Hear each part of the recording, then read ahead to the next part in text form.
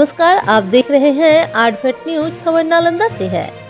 नालंदा के दीपनगर थाना क्षेत्र इलाके के टारपर गाँव में दबंगों ने घर में घुसकर महिला समेत चार लोगों के साथ मारपीट की घटना को अंजाम दिया।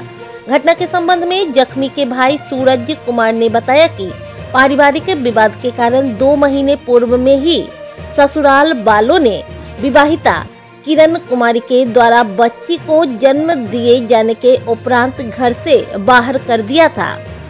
उस वक्त ससुराल वालों के द्वारा दहेज की भी मांग की जा रही थी। दहेज की मांग को पूरा नहीं करने पर ससुराल वालों ने विवाहिता किरण कुमारी को घर से बाहर कर दिया।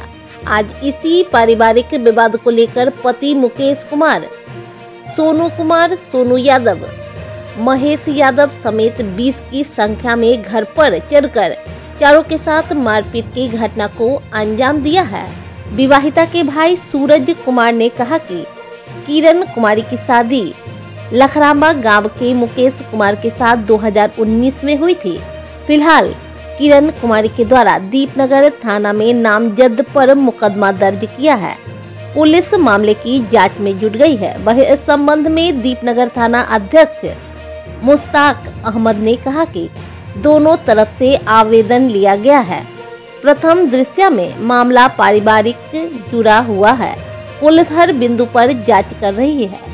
घर में विवाद क्या था? विवाद वही मेरी बहन की शादी हुई दो साल पहले।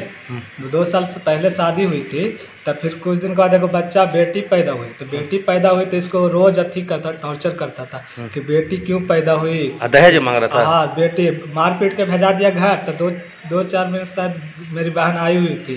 तो हम सोचे कि आज न कल सब सब समझ जाएँगे फिर चली जाएगी। तो फिर वो दहेज के और मांग करे और दहेज दो तब रखेंगे करेंगे। हाँ। नहीं हम सब असहमत हुए। तो फिर एक आई इस, इसका पति मेरी बहन का पति और उसके साथ उसका नाम मुकेश कुमार उसका आज आज मारपीट कहा लगी हुआ? मारपीट वही लग हुआ क्या नाम होगा आपका?